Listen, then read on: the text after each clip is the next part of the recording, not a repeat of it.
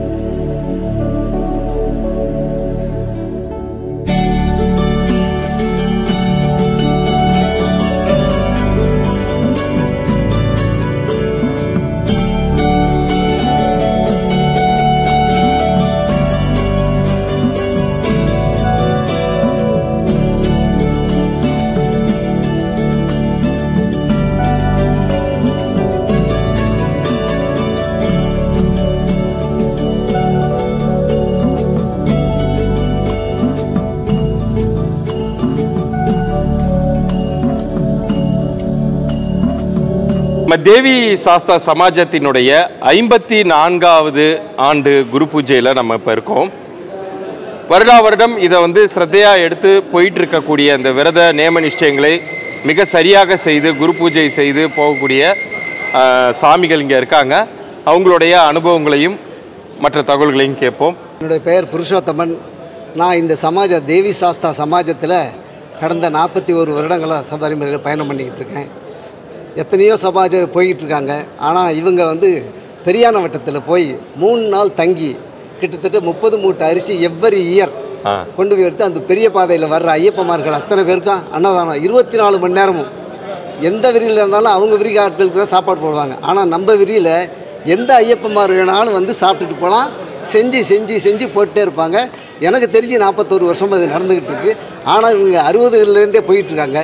அறுபதுகளில் வந்து சபரிமலைக்கு போகிறவங்க பொதுவான ஒரு தகவலை மட்டும் சொல்கிறேன் சபரிமலைக்கு போகிறவங்க பெரிய பாதையில் நடந்து வருவாங்க. ஆனால் திரும்பி அதே பாதையில் போக முடியாது அவங்களால. எப்படி போவாங்க? பாதி பேருக்கு தெரியாது. புல்மேடு ஏறி தான் இறங்கணும். அந்த சமயத்துலேருந்து நம்ம குரூப்பில் உள்ளவங்கெல்லாம் போயிருக்காங்க. அதுக்கப்புறம் அறுபத்தி ரெண்டில் கேரளா கவர்னர் அந்த பிவி கிரி அவர் வந்து சபரிமலைக்கு போகணும்னு சொன்ன உடனே அவருக்காக தான் அந்த சின்ன பாதையை போட்டாங்க. அறுபத்தி ரெண்டுக்கு அப்புறம் தான் சின்ன பாதை. அது வரைக்கும் சின்ன பாதையே கிடையாது. பெரிய பாதை போய் உயிர் இருந்தால் வாய்ப்பு இருந்தால் பகவானுடைய அனுகிரகம் இருந்தால் ஊடு போய் சேரலாம். இதுதான் அந்த மாதிரி நடந்துட்டு இருந்தது அந்த மாதிரி சமாஜத்தில் நாங்கள்லாம் பயணம் பண்ணுறதுக்கு பெரிய பெரிய பெரிய கொடுப்பினை எங்களுக்கு. எங்களுக்கெல்லாம் இது வந்து யதார்த்தமாக ஒரு கிடைச்ச ஒரு வாய்ப்பு தான். வாழ்க்கை இருக்கிற வரைக்கும் போய்கிட்டே இருப்போம். சுவாமியே போன்ற சரணமையப்பா. சாமியே சரணம் ஐயப்பா உங்களை போன்ற குருசாமிகளை இந்த சமயத்துல நாங்க பார்க்கறதையும் நாங்க பாக்கியமா கருதுறோம். நீங்க ஒன்று ரெண்டு வார்த்தை சொல்லுங்க. சுவாமியே சரணமையப்பா என்னுடைய பேர் வந்து பிஎஸ் சீனிவாசன். நான் நான் இந்த குரூப்பில் வந்து ஆயிரத்தி தொள்ளாயிரத்தி எழுபத்திலேருந்து விடாமல் போயிட்டுருக்கேன் நான். வரும் வருடத்துக்கு இரண்டு முறை இந்த குரூப்லேயே போவேன் நான். ஒரு வாட்டி ஜனவரி மகர விளக்கும் போது ஒரு குரூ ஒரு ஒரு ட்ரிப்பு ஆகஸ்ட்டில் ஒரு வாட்டி ட்ரிப் அதுவும் தனியாக இந்த குரூப்பில் போகிறோம் இந்த ஒரே குரூப்பில் நானும் ஒரு கிட்டத்தட்ட ஒரு நாற்பத்தஞ்சு வருஷம் நாற்பத்தாறு வருஷத்துக்கு மேலே போயிட்டுருக்கேன் நான். இந்த இதே குருசாமி தான். எங்கள் குருசாமி சொல்லி கொடுத்த வாக்கு ரெண்டு இன்னும் என் மனசில் இருக்குது என்ன இருக்குன்னா ஒன்று அன்னதானம் இன்னொன்று பூஜைகள் வேத மந்திரங்கள். இது ரெண்டும் தான் முக்கிய முக்கியமான சமாச்சாரம் நம்ம இருக்குது அத்தை வந்து ரொம்ப ஸ்ட்ரிக்டாக கடைபிடிச்சுன்னு வரக்கூடிய இவர் நம்ம குருசாமி. அந்த குருசாமி சொல்லி தான் அதே மாதிரி விளையான வட்டத்தில் அன்னதானம் எல்லாரும் போட்டிருக்காங்க. நம்மளுக்கு வந்து ஒரு லாரி லோடுக்கு உண்டான சாமான் மொத்தமும் ஃப்ரீயாகவே அனுப்புகிறாங்க எல்லாருமே. அங்கே வச்சுட்டு மொத்தம் லட்சக்கணக்கான பர்சன் வ வந்துட்டுருக்காங்க. அங்கே அப்படி விமரிசையாக நடக்கும். எல்லாமே நாங்கள் அங்கேயே வச்சுட்டு அங்கே ஹோமம்லாம் பண்ணி காயத்ரி ஜபம் பண்ணி ஹோமம் பண்ணி கணபதி ஹோமம் பண்ணி எல்லா விதமான எப்படி சிரேஷ்டமாக பண்ணி பஜனையும் பண்ணி அந்த பம்பா விளக்கை ஏற்றி ஜோதி பார்த்து அதுக்கப்புறம் தான் மலைக்கு போய் அபிஷேகம் பண்ணி அங்கே நாங்கள் கிளம்போம் இது நாங்கள் எங்களுக்கு ஒரு ரொட்டீன் அதுவும் அந்த விரி கூட அது ரெகுலராக எங்களுக்கே அந்த இடத்துல இருக்கும். அந்த விரியில் ஒரு ஒரு ஒரு வாட்டி எங்கள் கட்டு கட்டு இருக்கும்போது பெரிய பாம்பு ஒரு ஆறடி பாம்பு வந்தது. ஆறு அடி பாம்பு வந்து அந்த விரியில் வந்து நம்ம கட்டு மேலே வந்து ஒரு கரையில் ஒரு அடி அடிச்சிட்டு போடும் இதெல்லாம் அந்த ரொம்ப விசேஷமான இடம்.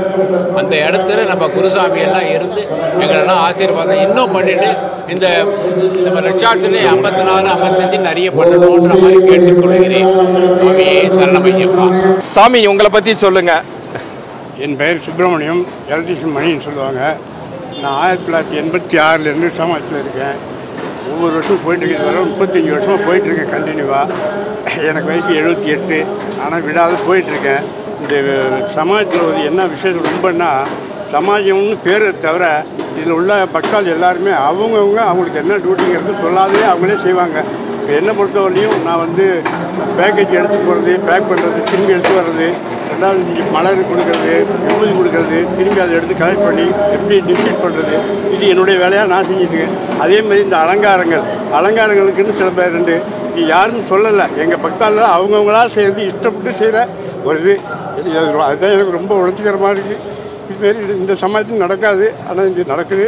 இது தொடர்ந்து நடக்கணும் இந்த சமாஜம் நல்லா வளரணும் என்னுடைய ஆசை.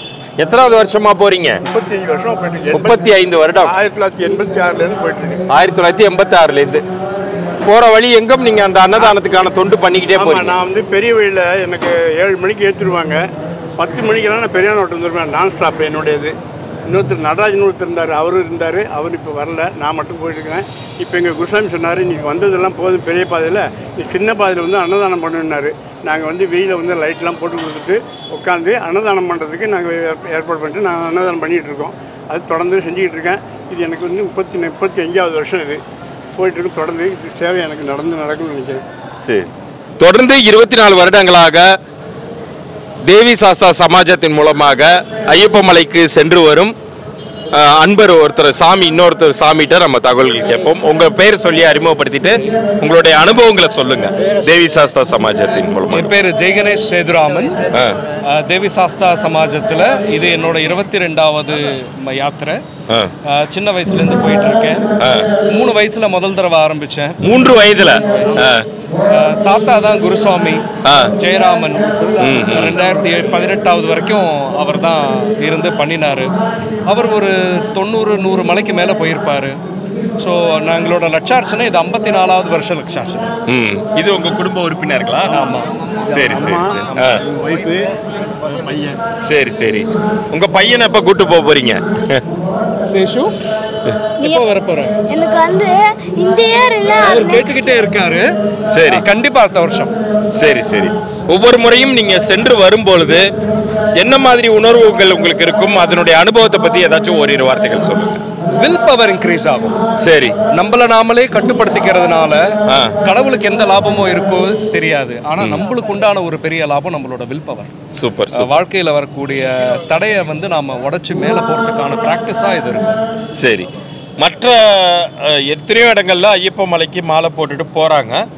பட் தேவி சாஸ்தா சமாஜத்தில் இங்கே நான் பார்த்தது வரைக்கும் எல்லாருமே வந்து அறுபது வயதை கடந்த குருசாமிகளாக இருக்காங்க. ரொம்ப சீனியர் பர்சன்ஸாக இருக்காங்க.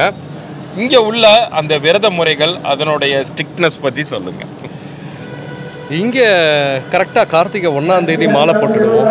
அதுக்கப்புறமா விரதம் ஆரம்பிச்சிடுவோம். இங்க இருக்கிறதுலயே ஜூனியரை கேட்டீங்கன்னா கூட உங்களுக்கு சாமி உங்க- நீங்க எத்தனாவது வருஷம்? முப்பத்தி அஞ்சு. ஆ? முப்பத்தி ஐந்தாவது வருடம். ஆமாம் அவ்வளோதான் ஸோ இந்த மாதிரி தான் முப்பத்தஞ்சு முப்பத்தாறு நாற்பது அப்படிங்கிறதெல்லாம் சர்வ சாதாரணமாக சொல்லிக்கிட்டே இருப்பாங்க. சரி ஸோ இங்கே ஆரம்பமே வந்து ஒரு மாதிரி ஒரு பதினெட்டுக்கு மேலே தாங்கிற மாதிரி இருக்கும். சரி சரி. பஜனை பூஜை இதையெல்லாம் வந்து இந்த சீசன் ஆரம்பிச்சதுலேருந்து ஒவ்வொருத்தர் வீட்டில் ஒவ்வொரு நாள் ஏதாவது ஒரு சாஸ்தா பிரீதியோ பூஜையோ நடந்து போய்கிட்டு இருக்கோம். ஆஹ், இதெல்லாம் விட சிறப்பு வந்து நாங்கள் பெரியான வட்டத்தில் அன்னதானம் பண்ணுவோம். சரி சரி. அங்கே நாலு நாள் தங்கி மகர ஜோதியை பம்பையில இருந்து பார்த்து அதுக்கப்புறமா அதுக்கு அடுத்த நாள் நாங்கள் மலை ஏறி சன்னிதானத்துக்கு போவோம். ஸோ இந்த காலத்திலையும் இங்க பாருங்க ரொம்ப குட்டி கன்னிசாமியிலேருந்து சீனியர் மோஸ்ட் சாமிகள் வரைக்கும் எல்லாரும் இருக்காங்க. இப்போ இவங்க சொன்னது மாதிரி இந்த அளவுக்கு ஸ்ரத்தையாக பண்ணக்கூடிய சமாஜங்கள் ரொம்ப ரொம்ப அரிது. ஸோ இந்த சமாஜத்தின் மூலமாக நீங்கள் வந்து நீங்கள் சபரிமலைக்கு போகணுன்னாலும் இவங்களை நீங்கள் தொடர்பு கொள்ளலாம். அப்படி போக முடியலனாலும் அடுத்த வருடம் வரேன்னு வேண்டிக்கிட்டு இந்த வருடத்திற்கு இவங்களுக்கான இந்த சொன்னாங்க இல்லையா நாலு நாள் தங்கி அங்கே வரக்கூடிய அன்பர்கள் அனைவருக்கும் அவங்க அன்னதானம் பண்ணுறாங்க ஸோ அதில் நீங்கள் கலந்துக்கிட்டீங்கன்னாலும் சனி பயிற்சி என்ன? எந்த பயிற்சியும் உங்களை ஒன்றும் பண்ணாது. ஐயப்பனுடைய பூரண அருள் உங்களுக்கு கிடைக்கப்பெற்று அனைத்து விதமான பிரச்சனைகளிலிருந்தும் விடுபடுவதற்கு ஐயப்பன் இந்த வாய்ப்பை உங்களுக்கு கொடுத்துருக்காருன்னு சொல்கிறேன் ஏன்னா இதே நிமிஷம் எத்தனையோ பேர் எங்கெங்கேயோ வேற வேற ப்ரோக்ராம் பார்த்துட்டு இருக்கலாம். ஆனால் இந்த சமயத்தில் இது நீங்கள் உங்களுக்கு காண கிடைக்குதுன்னா அது ஐயப்பன் உங்களுக்கு விட்ட வழி. ஸோ இதில் கலந்துக்கணும்னு நினைக்கிறவங்க கீழே தெரிகிற காண்டாக்ட் நம்பருக்கு அவங்க மூலமாக நீங்கள் பேசி நீங்கள் அன்னதானத்திலையும் கலந்துக்கலாம். ஒருவேளை நேரடியாக இவங்க மூலமாக மலைக்கு போகணுன்னாலும் அவங்கள்ட்ட பேசுங்க. இவ்வளோ நேரம் பொறுமையாக இந்த நிகழ்ச்சியை பார்த்ததற்கு மிக்க நன்றி. ரொம்ப நன்றி.